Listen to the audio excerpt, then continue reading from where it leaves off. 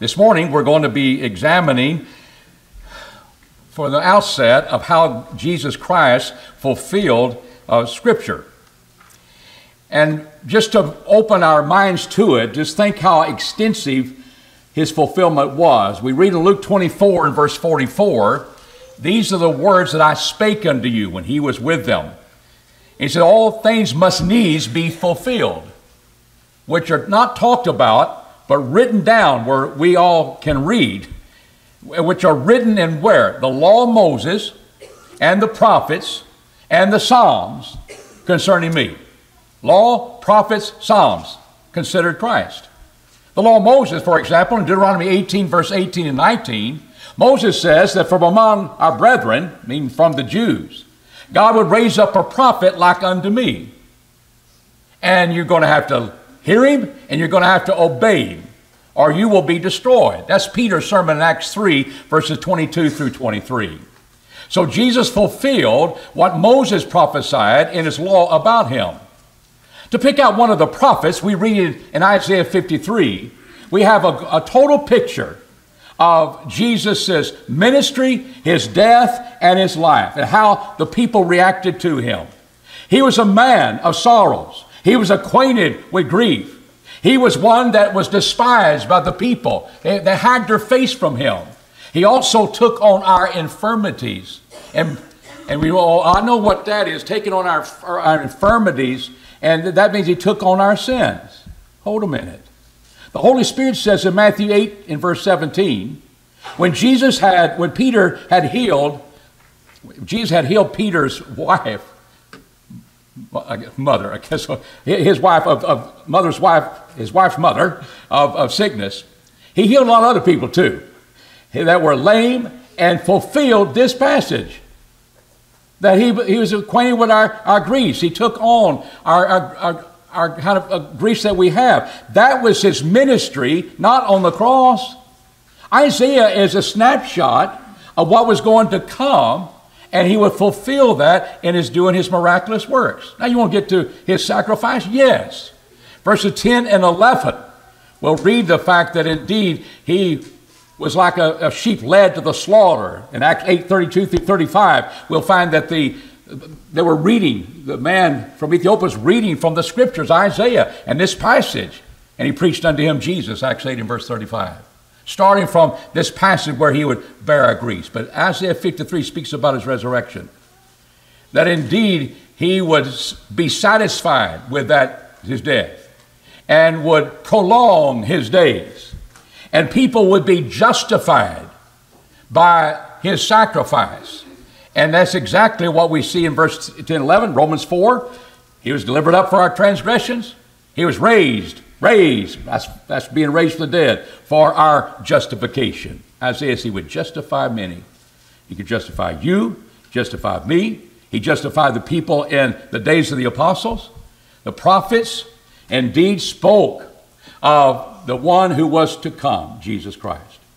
And then a passage we're going to be looking in detail this morning is Psalm 22. Not only did the law, not only did the, the prophets, but the psalm spoke of Jesus. And we'll find that we'll be introduced to his agony on the cross, his sanctifying death, and yes, his resurrection will be there. It's amazing to me as time was counting down to the coming of Jesus. 1400 BC, you got Moses writing about the law.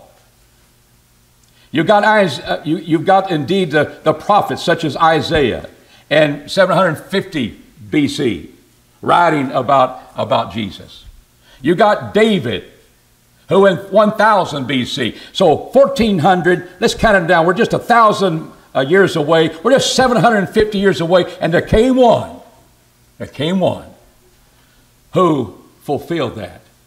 I don't know anybody would like to stand where Jesus was and fulfill the prophecies. Do you? Of what he went through? But it was countdown time. And the closer we got to Jesus, he was fulfilling well, Moses. I'll fulfill David's prophecy in the Psalm, and I will fulfill Isaiah. And then 750 years later, Jesus, born of a woman, born under law, and went through the things he went through. Isaiah is a good overall shot of his, his ministry, his resurrection, and his death. Psalm 22 gives us an insight into his agony, his agony in death. And that's what I want us to see. It is interesting to me that as Jesus is hanging on the cross, and it comes down to the point of the hours between 3, 12 noon and 3 o'clock in the afternoon when he would die.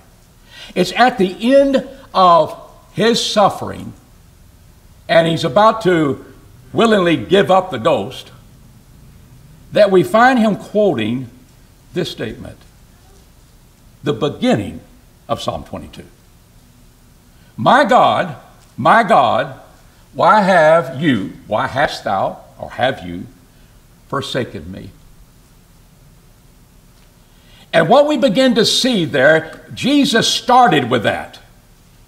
But you're going to see that he knew he was fulfilling the messianic psalm, Psalm 22. Journey with me a little bit. Verse 7 and 8. The Bible says, All that see me laugh me to scorn. They shake their heads, saying, Commit thyself unto Jehovah. Let him deliver him. Seeing he delights in him, let God save him. That's who he is. That's Psalm 22, 7 and 8. Drop down to verse 16. For dogs have compassed me. A company of evildoers have enclosed me. They pierce my hands and my feet. We see his agony, what he's going through upon the cross, being scorned and like dogs surrounding him, they got him. He's on the cross. Look at him. Wagging their heads, piercing his hands, and the psalmist says, his feet. And then we continue into Psalm and we say, you know, they part my garments among them. And upon my vesture do they cast lots. Verse 18. It's my garments. I'm the one that's suffering. It's my hands, my feet. My God, my God, why hast thou forsaken me? But something happens and changes in Psalm 22. In verse 22 says, I will declare thy name unto my brethren. In the midst of the congregation, in the midst of the assembly, well, I praise thee.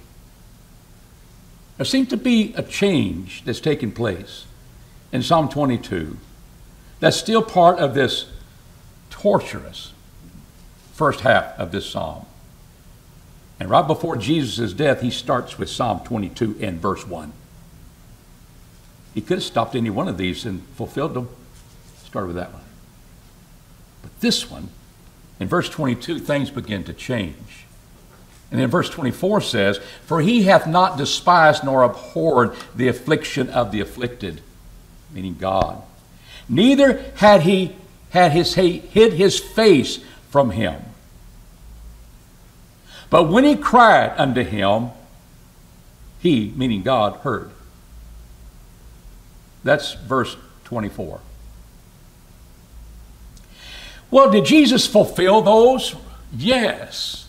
I think you'll be, you'll be amazed just how completely he fulfilled Psalm 22.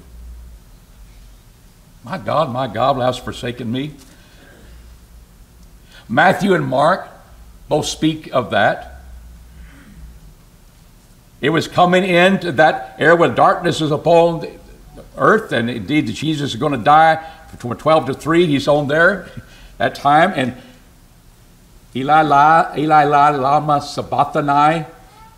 The Aramaic term, my God, my God, why hast thou forsaken me? That's the terminology. And he is feel, feel, feeling forsaken by God. Just take a note of that, and we're going to come back to it. But we drop down to verse 7 and 8, and we realize indeed there was a crowd there Both Matthew and Mark speak about that. But I want you to see about three divisions. First of all, there are the people wagging their heads, just like Psalm 22 said they'd be doing. He said he destroyed the temple and three days he'll raise it up. Come down from the cross. If that's you, of course, we know they had it all wrong. John 2, verse 21 says he spoke about the temple of his body. Who cares? Got to kill him. He's a blasphemer. It just so happens to be fulfilling Psalm 22 pretty accurately. the scribes, the chief priest, the elders. They come on the scene here and they say, Oh, you said you're the Son of God. Save yourself. Come down from the cross and we'll believe you. Yeah, they're killing him. You trust in God, let God deliver you. That's kind of like Psalm 22, 7 and 8. They're scorning him. They're mocking him. They laugh him to scorn, Psalmist says. That's not a big stretch. Yeah, Jesus fulfilled that part too of what he felt, what agony he was going through. You like to be made fun of? You like to have scorn, especially when you're dying? For the people that said you blaspheme God and you trusted in God all the time? They're like dogs surrounding me, he says. And they pierced my hands and my feet after Jesus was raised from the dead. He meets with his disciples a week before. He showed his disciples his hands and his side, which was the coup de grace after he died of a Roman soldier, some king you are. But he's already dead because they came to break the legs so they would die. His legs were not broken because he was dead. The soldier didn't kill him. That was just to finish off because all the mockery is there. They've been closed upon me and pierced my hands. And someone says his feet. But Jesus would show him his hands and his side. Thomas wasn't there. A week later, he would come. And he said, Until I see that, I will not believe. God, Jesus doesn't ridicule him. He just offered that same evidence a week before to the other apostles. Said, Blessed you because you see other people will not, they don't see, they believe they're going to be blessed. Because this is going to be the basis of saving many people. But at this moment, it's not. It's the feeling of pain in my hands and, and my feet. But after his resurrection, that same body was raised, and he could show the evidence of that. He fulfilled Psalm 22 16 too, when the, the people did. Unknowingly, they're just trying to kill him. But that was prophesied about this one, that Jesus filled it perfectly. Jesus looked down from the cross and all of his agony. John 19, verse 23 through 24, gives a more complete picture. Among the soldiers, they divided his garments. Things like sandals could go and all those things. That, they could divide that. But the vesture, that, that, that covering, could not be divided without ruining it. What do they do with that? They cast lots for that. See which way it folds. Oh, oh you get that part. We won't divide that one up. All the details. Jesus didn't do that. I've got to fulfill prophecy. Why don't y'all do that? They did that because he didn't need clothes anymore. They were stripped down to nakedness, to be mocked. Jesus is feeling it. And Psalm 22 helps you go to the cross and realize that this is horrible what he's going through. He did it for you, He did it for me, all of us. Well, Luke 23 34 tells you how gracious the Lord is because at that moment, while he's looking down and they're dividing up his clothes, he said, Forgive them, for they know not what they do. Luke 23 34. Jesus is willingly to be going through this pain of the cross the disgrace of the cross, the laughing, the scorning, as they put him to death. But then it changes. The same one that's experiencing this, I will declare thy name, O God, unto my brethren in the midst of the congregation. The Hebrew writer says uh, that's Jesus. We're looking following his resurrection, which would be the basis for our salvation and the glory that's connected with that. The Hebrew writer connects his death. He connects the fact of his resurrection as well. You turn with me to Hebrews, the second chapter, 9 and 12. You begin to see how the Holy Spirit brings this together in the Hebrew writer.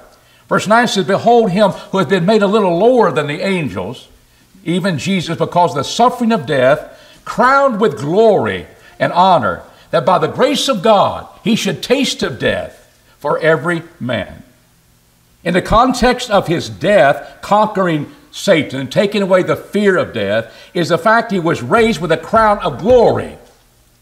And so now he could be with his brethren in the midst of the church, in the midst of their understanding. Here's a resurrected Savior we're praising today. And involved, he's involved there. He said, I will declare thy name unto my brethren. In the midst of the assembly will I, will I sing praise unto him because of what Jesus did on the cross and was resurrected, that scene could be true and is, is reality. And He's in our midst as we offer praises unto God. And we talked about the cross. We sung about it. We're studying about it. We're remembering it. And that is the one that's the only memorial God gives us. And we, we remember it every week. Why? Because that is the foundation for our salvation. But in verse 24, he says, He hath not despised nor abhorred the affliction. God sees that. And he has not hid his face. And all of Jesus' is crying before the cross and here on the cross. And when he cried, he heard. Hebrews, the fifth chapter, in verse 7, is a remarkable passage but it's talking about Jesus as well.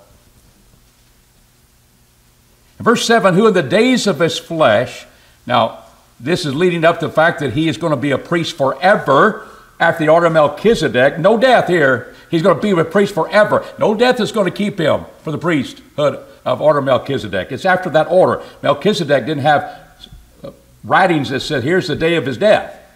Jesus fulfilled it Zechariah died, never to die again, forever. It's in that context, it says, who in the days of his flesh, that's Jesus, having offered up prayers and supplications with strong crying and tears unto him who is able to save him from death. That's Gethsemane. Well, you start there. And having been heard for his godly fear, his prayers were heard when he cried. God did not hide his face from him. He heard his prayers. But he says, though he was a son, yet he learned obedience by the things which he suffered. And being made perfect through the suffering, and in this, this context that we're seeing pointing to his resurrection, he made the author of them that obey him the author of eternal salvation. Without the resurrection, there'll be no salvation. There'll be no resurrection of any death. To me, that's an amazing passage. Oh, I thought, my God, my God, why hast thou forsaken me? that's it. God hid his face. He could not stand to look at Jesus Christ on the cross. I'm holy. And all the sins were upon his back. He was the sinner. That's not true. He paid the penalty for our sins. And we have to wrestle with the concept. What, what why is that? Con- he forsook me when Psalm 22 is being fulfilled and that God heard him, heard his prayers, heard his strong crying. He didn't forsake him in that way. Well, then, how did he forsake him? He left him to die. He didn't change that. He left him to die. It wasn't that he hit his face and I can't, I can't uh, look at you on the cross. I don't think the Father took his eyes off of it.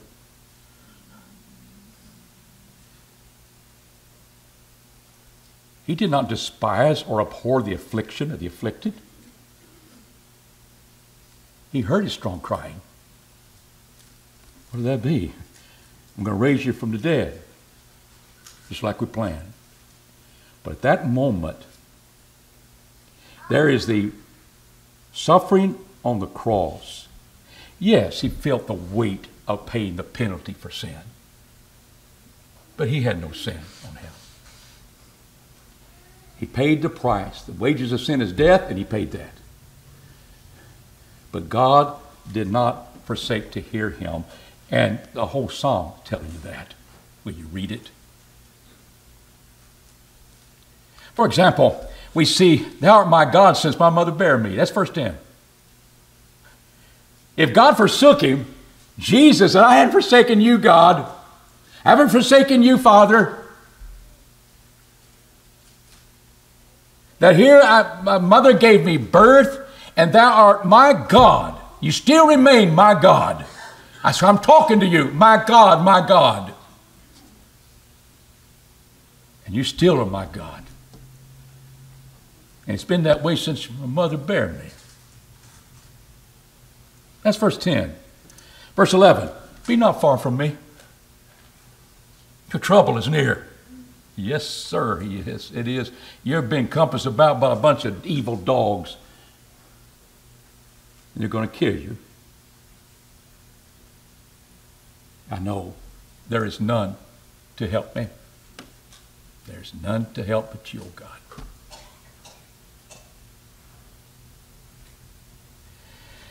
He was forsaken because he feels like he's going to die. He knew he was going to die, and he wasn't going to shy away from it. And he's not delusional on the cross saying these wild things. No. Psalm 22 is being fulfilled. Here's my time of trouble, and I'm going to have to go through this. But you're, you're not going to be sending your 10,000 angels to you're forsaking me. You're, you're turning against me. You're out turning your back upon me to not save me from the sword. Because I, I, I like to have that salvation. But he said, Be not far off. My God, my God, you forsake me. Don't go too far. He just totally turned his back. Don't go too far, O Jehovah. O thou my succor, haste thee to my help. He's not giving up in his trust in God. It makes you wonder just what does it mean when he thought that God had forsaken him. Verse 20 and 21, he says, Deliver my soul from the sword. Hmm. My darling from the power of the dog. Save me from the lion's mouth. Yea, from the strength or the horns of the wild oxen. Thou hast answered me. The dogs killed him that day. He died on the cross like a soldier would die from the sword. As if he was devoured by the, the lion, torn to pieces and the wild oxen. He said, Thou hast answered me. And what we realize that yes, you're going to die. I'm forsaking you, not delivering you from death. But look at verse 22. That's where it changes. In the psalm, it changes. I will declare thy name unto my brethren. In the midst of the assembly, I will praise thee when he's crowned with the glory. Resurrected body and the glory of sitting as king. His prayers were heard. But the experience of death was not avoided. He needed to learn what it meant to be the Son of God and made perfect through his suffering. It's in that limited sense that I believe he was forsaken by God, his Father. Because if God, his Father, could have redeemed him, could have redeemed him from the sword, could redeem him from the dogs. I don't care how strong the oxen are. But he speaks with that as he's about to die. He's fulfilling that. Realize this is what it means. And yes, the weight, knowledge, I'm not saying, well, he had nothing to do with sin. He just, uh, it's all our sins. No, he, he felt the weight, the, the penalty of sin. That's what he bore for us. In bearing our sins, it was the penalty of that. But we get the concept, I can't look at unholiness, and he's such a, he's, he's full of sin. It's not that. Don't go that route. Psalm 22 doesn't take you down that road. In fact, Psalm 22 is interesting about this idea of delivering him.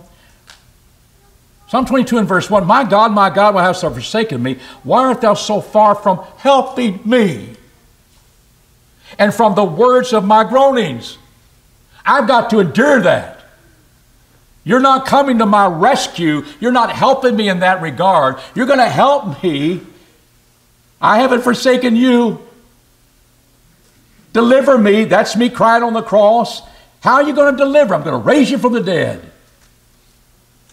You will sing praise to my name in the congregation of God's people. I never despise and abhor the affliction of the afflicted. Jesus, I didn't hide my face from you. And yet, religious people said all the time, even our brethren. Why? Scriptures don't lead you there.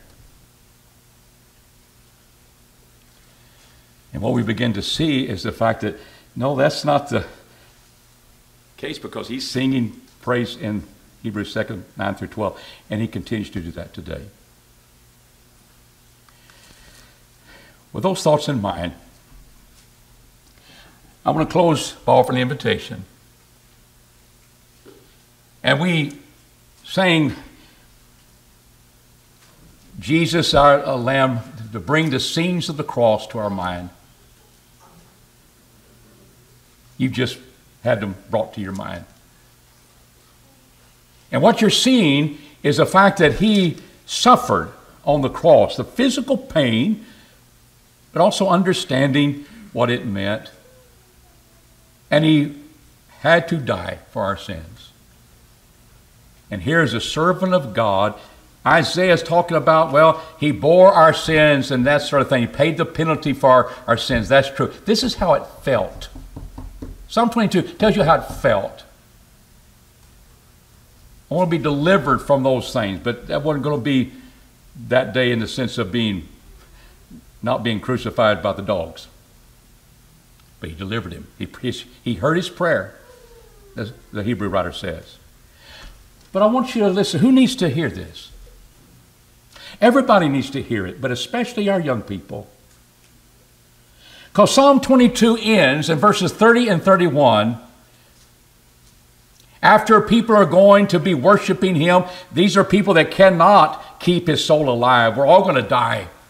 That's not going to change it. We'll, we'll bow our knee in praise to God. Then he says in verse 30, A seed shall serve him. It shall be told of the Lord unto the next generation. They shall come and they shall declare his righteousness unto a people that shall be born, that he hath done it. He did what's right to make us righteous.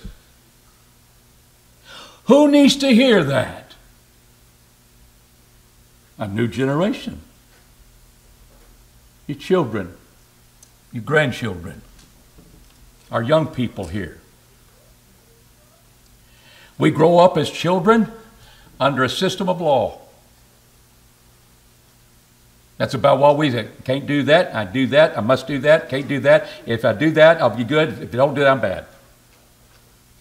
And they come to the age of accountability, they begin to realize that here I'm standing responsible for my God. I've been raised. But what Psalm 22 says, it brings the scenes of the cross before you. I'm asking you, young people, take a look. Look at the cross of Jesus dying upon all the agony that we've looked at, that he fulfilled. Six areas of thought. Some it didn't, he, he didn't have control over. Some of he felt. Being gaped at, dogs around your company. I can't get out of this. I'm going to die. They're making fun of me, perverting what I said. And you see that in Psalm 22. I don't want you to go away from law. The law of the Spirit makes you free from the law of sin and death. And, uh, and law lay down your parents, you got to keep going that way. But I want you to be introduced to the grace of God in the sense, not that it's without law. The law, grace of God has appeared bringing salvation to all men, teaching us that denying ungodliness and worldly lust, we should live soberly and righteously in godliness present world. You got rules, young people, as a Christian. And I want to see the grace of God as if it had no rules. That's not the grace of God. But I don't want you to think it's just about doing, not doing, and I'm forgiven. What you're seeing is what Jesus graciously did to save you and me from sin. It wasn't a small price to pay, was it? And I want you to be able to see that with your eyes. What Jesus tasted in his death. Remember Hebrews 2 in verse 9? He tasted of death for all men. For you, if you're 13 years old, 12 years old, thinking about becoming a Christian, I want you to see that this morning. I want you to think about being a Christian and realize you need to, to make that good confession. Here's your Savior. Here's the agony that He went through willingly, and He's suffering through it. Not He's going to come down from the cross. That's what they challenged Him to do. I'm going to die. But He's praying to a Father that He never doubted. And a Father says, I never quit hearing you. This is how I'm going to answer your prayer. And the psalmist says, He answered me. In the next verse, we have him singing praises in the assembly of God's people. The people who were now justified from their sins. And through his death, I think we all need to see that. Isaac Newton writes a song. If you turn your song books to 157, we're about to sing it. He lived in the 1700s. It took 175 years later for a man to write the tune and to write the chorus of the song we're about to sing. Some of the verses that Isaac Newton wrote are not in our song book, but one that we don't have there, one was changed. He used to sing, He died for such a worm as I. You'll read we'll sing today as, as one not worm. Because we lived in a time where you ain't no trash. We live in a time where we've got to build up your sense of well being among yourselves. We don't want to trash you. You're not a worm, you're a man. Psalmist says, I'm a worm and not a man. The way the people around him were looking at him.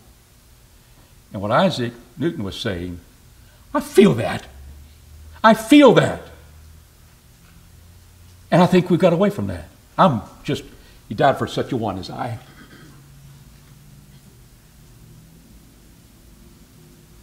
He felt like a worm, not a man, as they were mocking him, his naked body, and all those things. I see that.